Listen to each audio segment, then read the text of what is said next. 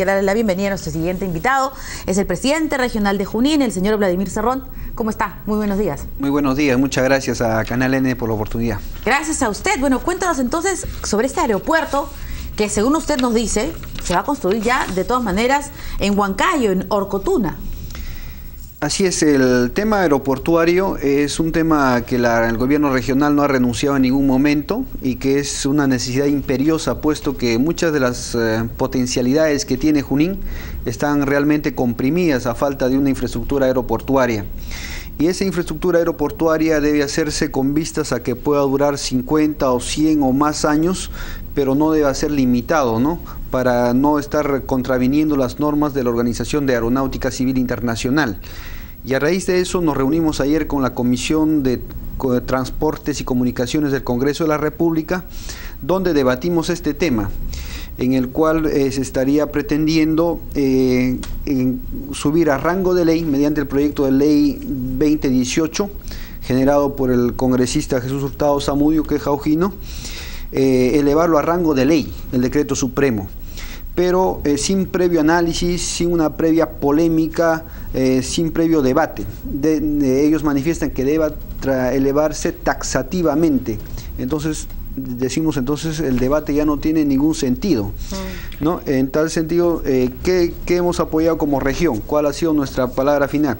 Que nosotros apoyamos que se modernice el aeropuerto de Jauja, que se equipe el moderno el, el, aeropuerto de Jauja, perfecto, inclusive podemos ayudar económicamente.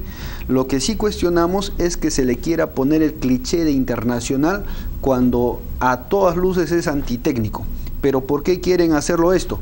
Para vetar el otro que sí pudiera tener las medidas de carácter internacional. Entonces, esa es la parte El otro aeropuerto que se va a construir. Que se va a construir, efectivamente, y para lo cual el gobierno regional tiene dos licencias sociales aprobadas en la comunidad de Orcotuna y tiene respaldo de 63 alcaldes de toda la región Junín.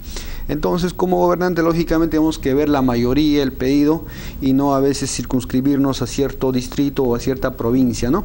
Y lo hemos dicho siempre con el ánimo de esclarecer y de que el Congreso no convalide un error que ha hecho el decreto supremo 020 de jugar con las expectativas de una provincia y también de la región cuando a todas luces pues es antitécnico. Y no puede ser internacional, dice usted, ese eh, aeropuerto. No puede ser por la por las razones que se han expuesto, porque viola la normatividad OASI, eh, por ejemplo, de que un aeropuerto internacional deba tener los dos corredores aéreos eh, permeables ¿no? para el decolaje y el aterrizaje, y Jauja solamente cumple con uno, porque al frente tiene un cerro, entonces es imposible. Mm. Entonces, eso es una de las cuantas. Ahora, yo cuando usted decía que estaba, que estaba con la comisión de de Transporte, yo pensé que se refería al Ministerio de Transportes y Comunicaciones. ¿No tendrían que reunirse con ellos en con los congresistas? Sí, lo que es lamentable que el ministro de Transportes, habiendo sido citado, si no, me, no han asistido a la comisión y casi siempre hacen lo mismo, ¿no? O sea, no, no se asiste.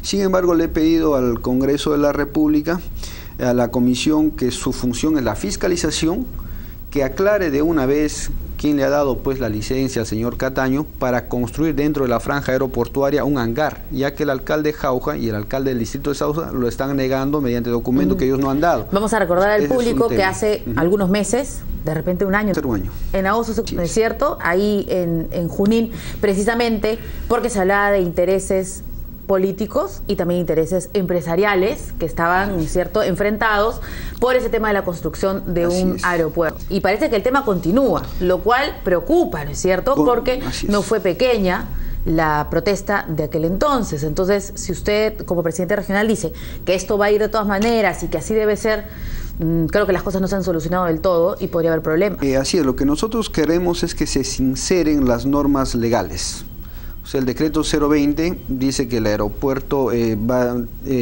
está basado en la ley de 1985, donde hay una ley que dice debe ser alterno al Jorge Chávez. ¿Alterno qué quiere decir? Que reciba toda la capacidad que tiene Jorge Chávez en casos de alguna emergencia. Y lógicamente, al el otro no cumplir los parámetros internacionales no puede ser alterno. Simplemente es, eso fue lo que jugó con la expectativa. Y ahora ese error se quiere convalidar mediante una ley. Claro, porque en ese momento. Está mal. Yo recuerdo que el Ministerio de Transportes aclaró que ni siquiera se había hecho el estudio Así es. y que eh, las protestas, eh, digamos, no tenían ningún sentido porque nadie había probado nada, sino que lo que se estaba pretendiendo hacer es estudiar la es. posibilidad, ¿no es cierto?, de hacer este, de, de hacer este aeropuerto o implementarlo, ¿no? Entonces no había por qué protestar y ahí las cosas se calmaron, pero no del todo, parece. Así es, efectivamente, el estudio era el elemento disuasivo para acabar con esa duda, porque era un estudio científico dentro de todos los parámetros. Ahora, el Ejecutivo ahí, eh, en vez de licitación, debió haber hecho respetar el principio de autoridad y que se estudie todo el Valle del Mantaro para definir cuál era el espacio apropiado. Pero no se hizo nunca el estudio. No, se hizo porque... esa fue la condición para levantar las protestas, así es, ¿no? abortaron el estudio. Es como que yo ahora eh, desconozca la Corte de la Haya, que es el elemento disuasivo, y genere un conflicto entre Perú y Chile o lo prolongue más. Lo que usted dice es, entonces lo que quiere el gobierno regional es que si se, se sincere la ley y que los decretos y que no se vuelvan a hacer decretos supremos demagógicos, ¿no? como se han hecho muchos y que finalmente generan conflicto. ¿Y qué pasa con el señor Cataño? O sea, ¿cuál es la participación del señor Cataño en todo esto? ¿Qué es lo que usted dice, bueno, no? ¿Cuál es lo la que nosotros eh, le he dicho, no me responde. Según las normas OASI, una pista aeroportuaria debe tener libre 150 metros eh, de flanco, ambos lados. Bueno, a 30 metros han construido un hangar dentro de la franja aeroportuaria, inclusive que debe ser propiedad privada. ¿no? Entonces, eh, ¿quién le ha autorizado construir impunemente dentro de la franja aeronáutica del Estado? Esa es mi pregunta.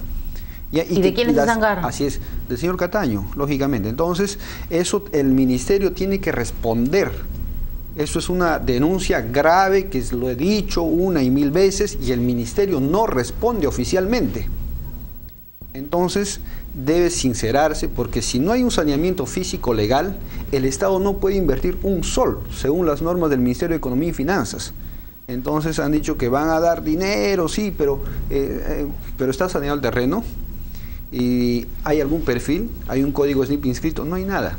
Entonces solamente es nuevamente jugar con la expectativa de toda la región Junín. Esa es la preocupación que nosotros hemos hecho presente siempre dentro del marco del respeto constitucional.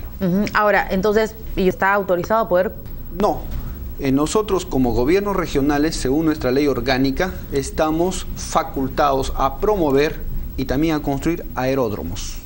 Aeródromos? ¿Cuál es la diferencia entre el aeródromo y el aeropuerto? Bueno, pues que el aeropuerto tiene inmigraciones, tiene aduana. O sea, lo general es aeródromos y lo particular es aeropuerto. Entonces, mientras nosotros no, no tengamos esas dos, eh, esos dos elementos, en la primera etapa debe hacerse una buena pista para toda la región.